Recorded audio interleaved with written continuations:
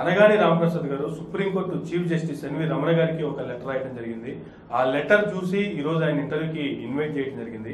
అసలు ఎందుకు supreme court chief justice గారికి ఆయన లెటర్ రాయాల్సిన అవసరం వచ్చింది ఆ లెటర్లో ఏముంది? ఈ రోజు వారితో మాట్లాడి మరిన్ని విషయాలు తెలుసుకునే ప్రయత్నం చేద్దాం. నమస్తే అండి రామప్రసాద్ గారు. నమస్తే. ఏం చెప్తారు? మీకు మీకు వస్తున్నటువంటి సంఘీభావం ఏ విధంగా ఉంది?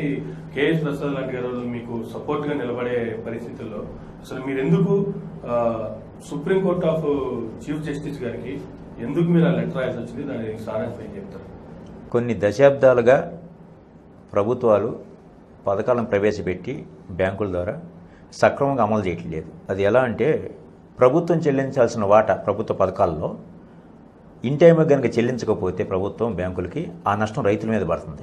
మాకు గవర్నమెంట్ ఇచ్చిన సబ్సిడీ మీద బ్యాంకు వాళ్ళు నాలుగు సంవత్సరాలు వడ్డీ వసూలు చేశారు. ఆ నాలుగు సంవత్సరాల వరకు ప్రభుత్వం బ్యాంకుకి జమ లేదు సబ్సిడీ. నాలుగు సంవత్సరాలు వడ్డీ వేసారు అది ప్రభుత్వం ఇవ్వాల్సిన దానికి నేను ఎందుకు కట్టాలని చెప్పి మేము లీగల్గా అప్రోచ్ చేయం సో న్యాయస్థానం తీర్పు కూడా మాకు అప్పట్లో కింద స్థాయి న్యాయస్థానాలు కూడా hundred percent operation success patient dead అనే జడ్జిమెంట్ ఇచ్చారు తప్పించి. ఒక అధికారి ఇచ్చిన రిపోర్ట్ నమ్ముతున్న తప్పించి వ్యవస్థ అప్పుడు ఒక రైతు దగ్గర ఏ ఆధారాలు ఉన్నాయి? అని రైతు యొక్క ఆవేదన తెలుసుకునే పరిస్థితి ఇప్పుడున్న వ్యవస్థలో లేవు. సో నాకు జరిగిన రెండో రైతు జరగకూడదు మా తండ్రికి జరిగిన అవమానం అని చెప్పేసి అనేక సార్లు అనేక ప్రభుత్వాల దృష్టికి తీసుకెళ్ళాను. చంద్రబాబు నాయుడు గారితో కూడా పోస్టర్లు వేసి మరీ తిండి తినకుండా పాదయాత్ర చేశాను. ఏడు రోజుల పాటు నూట ముప్పై కిలోమీటర్లు. ఆయన అప్పుడు మీలాంటి వ్యక్తి అవసరం సమాజానికి అని చెప్పేసి నన్ను ఎంకరేజ్ చేశారు. ఆయన కూడా బాండ్లు ఇచ్చి రైతులకి నాలుగు ఐదు విడతలు చెల్లించుకోవడం మోసం చేశారు. అంటే ఆ నాలుగు ఐదు విడతలు మళ్ళీ ప్రభుత్వం బ్యాంకులు ప్రభుత్వం నుంచి ఇవ్వాల్సిన వసూలు చేసుకోకుండా రైతుల నుంచి వసూలు చేసినాయి. అంటే ప్రభుత్వం ఇట్లా బాండ్లు ఇచ్చే రైతులు మోసం చేస్తుంటే ఈ న్యాయ వ్యవస్థ మిగిలిన పార్టీలు కూడా చూస్తా సౌద్యం చూస్తున్నాయి అంటే రేపు ప్రైవేట్ సంస్థలు చేసే మోసానికి హద్దులు ఎక్కడ ఉంటాయి? అటు ప్రభుత్వాలు పట్టించుకోవట్లేదు ఈ మోసాన్ని అన్నీ తెలిసి మీడియాను స్పందించట్లేదు. ఒక పార్టీ చేసిన తప్పులు ఈ ప్రభుత్వ పథకాల్లో స్పందించింది అనుకోండి మీడియా గట్టిగా. రేపు ఇంకో పార్టీ వస్తుంది అనుకోండి ఈ ప్రజలు రైతులు ఎక్కడ చైతన్యవంతులయ్యి మళ్ళీ ఆ పార్టీని ఎక్కడ ప్రశ్నిస్తారో ఇవన్నీ వాస్తవాలు తెలిసిపోతాయని చెప్పేసి మీడియా కూడా స- మౌనంగా ఉండటం వలన న్యాయస్థానం యొక్క తీర్పు ఏమో hundred percent operation success patient dead అని ఉండటం వలన కోర్టు తీర్పులకు కట్టుబడి ఉంటాము అని చెప్పేసి మేము లెటర్ రాసినా కానీ మా అకౌంట్లో సీజ్ చేయడం వలన మరి రైతుల మీద మన ప్రసాద్ గారు చెప్పినట్టు సినిమాలు తెస్తున్నారు లబ్ధి పొందుతున్నారు. ప్రెసిడెన్స్ కోసం పార్టీ పెట్టాము కొత్త తరం కోసం వచ్చాము వ్యవస్థలో మార్పు కోసం వచ్చామని చెప్పినటువంటి పవన్ కళ్యాణ్ గారు కానీ లేకపోతే ఈ మన కమల్ హాసన్ గారు కానీ ఆయన దృష్టికి ఎన్నిసార్లు తీసుకెళ్ళినా అలాంటి వాళ్ళు స్పందిస్తే వైరల్ అవుతుంది సుప్రీంకోర్టుకి తెలుస్తుందని వస్తుంది. అనేక సార్లు ప్రయత్నం చేసినా కానీ వాళ్ళ దగ్గర నన్ను దగ్గర చేరనికపోవటం వల్ల కానీ రైతుల ఆత్మహత్య మీద ఆల్రెడీ గుజరాత్ రాష్ట్రంలో కేసు వేశారు వాళ్ళు. సుప్రీంకోర్టు సుమోటాకు తీసుకుంది ఒక రైతుల ఆత్మహత్య అనేది సుప్రీంకోర్టు మన గుజరాత్ రాష్ట్రానికి సంబంధించింది కాదు అన్ని రాష్ట్రాలకు సంబంధించిన అని చెప్పేసి సుప్రీంకోర్టు కేంద్ర రాష్ట్ర ప్రభుత్వం నివేదిక అడుగుతున్నాయి కానీ ఈ పథకాల విషయంలో జరుగుతున్న మోసాన్ని ఏ స్- కేంద్ర ప్రభుత్వం కానీ ఏ రాష్ట్ర ప్రభుత్వం కానీ వాస్తవాలు బయటికి పెట్టవు. ఎందుకంటే మోసం చేసేది ప్రభుత్వాలు కాబట్టి. సో ఈ వాస్తవాలు నా దగ్గర ఉన్నటువంటి ఆధారాలను చూసి మీరు ఒక కమిషన్ ఆదేశించండి వాస్తవాలు మీకే తెలుస్తాయి అని చెప్పి ఒక సూచన తెలియపరచడం కోసమే కానీ ఓకే. మరి ఈ కేంద్ర ప్రభుత్వం ప్రవేశపెట్టినటువంటి మూడు చట్టాల్లో ముఖ్య అంశాల్లో రెండు అంశాలకి నేను ప్రత్యక్ష సాక్షిని. ఒకటి మన కార్పొరేట్ సంస్థకి రైతుకి కనుక విభేదాలు వస్తే కలెక్టరే పరిష్కారం చేస్తారని సూచించింది. ఆ చట్టాల్లో ఒక అంశం. మాకు మా విషయంలో కలెక్టరే ఆదేశాలు జారీ చేసినా కానీ అది ప్రభుత్వం ప్రైవేట్ సంస్థ పట్టించుకోలేదు ఇప్పుడు ప్రభుత్వ సంస్థలు పట్టించుకోలేదు ప్రభుత్వం పట్టించుకోలేదు న్యాయ వ్యవస్థ పట్టించుకోలేదు. అంటే ఒక కలెక్టరేషన్ ఆధారాలని ఎవరో పట్టించుకున్నప్పుడు మీ చట్టాల్లో కలెక్టరే పరిష్కారం చేస్తారనే దానికి ఎంతవరకు న్యాయం జరుగుతుంది రైతులు కానీ అంశాన్ని గుర్తు చేస్తూ ఇంకొక అంశం ఏంటంటే ఈ ప్రైవేట్ కంపెనీలు ఈ రైతుల్ని ఎంకరేజ్ చేయడం కోసం ఈ డిప్రికేషన్ సిస్టమ్ ఇలాంటివి ఉంటాయి కదా అవి రైతులను ఏ రకంగా మోసం చేస్తాయి అనే దానికి ప్రత్యక్ష సాక్ష్యం కాబట్టి ఈ అన్ని అంశాలని పరిగణలో తీసుకొని నాకు ప్రభుత్వాలు ఏ న్యాయం చేసే పరిస్థితులు లేదు కాబట్టి మోసం చేసేదే ప్రభుత్వం కాబట్టి ఎంత మొరపెట్టుకున్నా కానీ దొంగే పోలీస్ అయితే ఎలా ఉంటుందనే పరిస్థితి ఎలా ఉంటుందో అలాగే ఉంది కాబట్టి ఇది కాకుండా రెండు వేల తొమ్మిదిలోనే నేను క్రాప్ ఇన్సూరెన్స్ జరుగుతున్న మోసాన్ని రైట్ ఇన్ఫర్మేషన్ ద్వారా బయటపెట్టాను. అదే క్రాప్ ఇన్సూరెన్స్ జరుగుతున్న మోసాన్ని కాగు నివేదిక జూలై ఇరవై ఒకటి రెండు వేల పదిహేడులో బయటపెట్టింది. ఇప్పటివరకు ఏ కార్యాచరణ చేపట్టలేదు కేంద్ర ప్రభుత్వం. ఈ అంశాలన్నింటినీ దృష్టిలో పెట్టుకొని నాది నాకు ఒక అవకాశం ఇవ్వండి. ఆధారాలతో వస్తా. నా యొక్క ఆవేదన విని ఆధారాలను చూసి మీరు కనుక నా యొక్క ఆవేదన ఆలోచనలు కానీ తప్పని కానీ మీరు భావిస్తే అంటే సుప్రీంకోర్టు న్యాయమూర్తి గారు కానీ భావిస్తే తక్షణమే ఉరి శిక్ష విధించండి. దేశం కోసం చచ్చిపోతా తప్పించి సచ్చిన క్షమాపేక్ష కోరని చెప్పి అతి ఘాటుగా రాశాను లెటర్ నేను. రైతు చావే పరిష్కారం కాదండి. రైతు చావులకి వాళ్ళు ప్రతిస్పందించే వాళ్ళు చాలా మంది ఉన్నారు. పరిష్కారం కాదు కాబట్టి మాకు జరిగిన రెండో రీతి జరగకూడదని నా మౌనం దేశానికి దేశంలో ఉన్నటువంటి అరవై శాతం మంది వ్యవసాయం మీద బతుకుతున్నటువంటి రైతులకు అన్యాయం జరుగుతుందని భావించి నా దగ్గర ఉన్న ఆధారాలు ఏ రైతు దగ్గర లేవు కాబట్టి రైతు ఆర్థిక ఇబ్బందులు ఆత్మహత్య చేసుకోవడానికి సిద్ధపడుతున్నారు తప్పించి వ్యవస్థను ప్రశ్నించే తత్వంలో ఎవరూ లేరు. ఓకే. కారణం ఏంటంటే అండి రైతుకు ఉన్నంత ఆత్మాభిమానం ఇంకెవరికి ఉండదు. రైతుకి ఆత్మాభిమానంతోనే ఏదైనా పని చేస్తాడు. ఆత్మాభిమానం ఉన్న వ్యక్తికి ఆత్మగౌరవం దెబ్బతింటున్నప్పుడు చేసే ప్రక్రియ ఆ సూసైడ్. ఇప్పుడు ప్రభుత్వాలు ప్రతిసారి బడ్జెట్ ప్రవేశపెట్టినప్పుడు రైతులకు కూడా కొంత బడ్జెట్ ప్రవేశపెడుతుంది కదా అది సరిగ్గా రైతులకి సక్రమంగా అందట్లేదంటారా? లేదంటే ఆ బడ్జెట్లో లోపాలు ఉన్నాయంటారా అసలు గారు ఏం చెప్తారు? రైతుకి ఏ ప్రభుత్వం వచ్చినా న్యాయం చేయట్లేదు. ఇప్పుడు స్వామినాథన్ కమిషన్ నోట్ వేశారు అందులో గిట్టుబాటు ధర గురించి క్లియర్గా రాశారు. రూపాయి ఖర్చు అయితే రూపాయి నా రూమ్ అని చెప్పేసి గిట్టుబాటు ధరకి మరి ఆ స్వామినాథన్ కమిషన్ ఎందుకు ఎగ్జిక్యూట్ చేయట్లేదు? ఆ స్వామినాథన్ కమిషన్ ద్వారా మన గిట్టుబాటు ధర కనుక ఎగ్జిక్యూట్ చేసినట్లయితే ఈ రోజున ఈ రైతు భరోసా రుణమాఫీలు ఇవన్నీ చేయాల్సిన అవసరం లేదు రైతుకి. ఓకే. పది సంవత్సరాల నాడు ఒక ఎకరం పొలం కోయాలంటే వెయ్యి రూపాయలు. అప్పుడు ధాన్యం కూడా వెయ్యి రూపాయలే. ఈ రోజున ఒక ఎకరం కొయ్యాలంటే నాలుగు వేల నుంచి ఆరు వేల రూపాయలు. ఇప్పుడు బస్తా ధర ఎంత? పదిహేను వందల రూపాయలు మ్యాక్సిమం మరి ఆ ఖర్చులు పెరిగిపోయినాయి రేట్ అలాగే ఉంది. మీరు ఎందుకు ఇచ్చేయట్లేదు? ఆ స్వామినాథన్ కమిషన్ ఎందుకు ఎగ్జిక్యూట్ చేయట్లేదు? మనం ప్రజాస్వామ్యంలో బతుకున్నాం కాబట్టి రాజ్యాంగం నాకు ప్రాథమిక హక్కు కల్పించింది భావ ప్రకటన అనేది. ఆ హక్కుతో నేను లెటర్ కూడా డైరెక్ట్గా రాశాను. నేను న్యాయం చేయండినో లేదంటే ఇదే కదా నా ఆవేదన మొత్తం కూడా రాశాను ఫేస్ టు ఫేస్ నా హక్కు నేను ఉపయోగించుకున్నాను.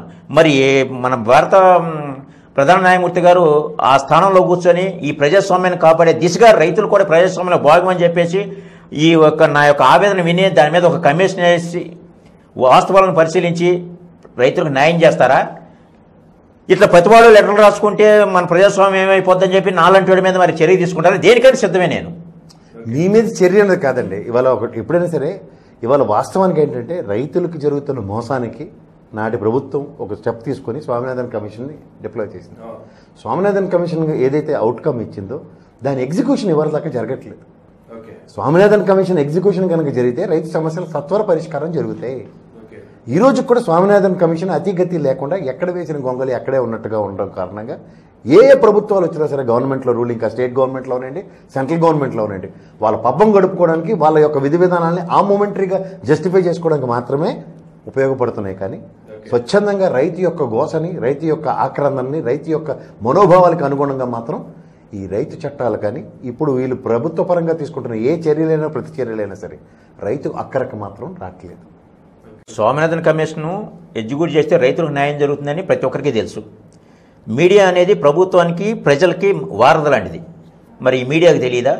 ఎడ్యుకేషన్ చేయాలని? మీడియాకి ఇది వార్త కాదు. రాంగోపాలవరం ఏమన్నాడు? ఆ, రఘురామకృష్ణరాజు ఏమన్నాడు? ఇవి డిబేట్లు. ముప్పై మూడు లక్షల మందికి రుణమాఫీ విషయంలో నాలుగు ఐదు విడతలు బాండ్లు ఇచ్చి మరీ మోసం చేసినప్పుడు అది ఇష్యూ కాదు. దాని మీద డిబేట్లు గట్రా ఏం ఉండవు. ఒక ప్రభుత్వమే బాండ్లు ఇచ్చి మోసం చేస్తుంటే ప్రజలకి రేపు ప్రైవేట్ సంస్థలు చేసే మోసానికి హద్దులు ఎక్కడ ఉంటాయి? అంటే ప్రభుత్వం దారి చూపిస్తాం కదా ప్రైవేట్ సంస్థలకు ఈ రకంగా కూడా మనం మోసం చేయొచ్చు అని చెప్పేసి. అగ్రిగోల్డ్కి ఇచ్చింది కదా తీర్పు? హైకోర్టు? మరి అదే తీర్పు దీనికి ఎందుకు ఎగ్జిక్యూట్ చేయదు? ఏమైంది? అగ్రిగోల్డ్ ఇచ్చిన తీర్పుకి వాళ్ళ అసలు ఎగ్జిక్యూషన్ ఒక తీర్పు అనేది వచ్చింది కదా.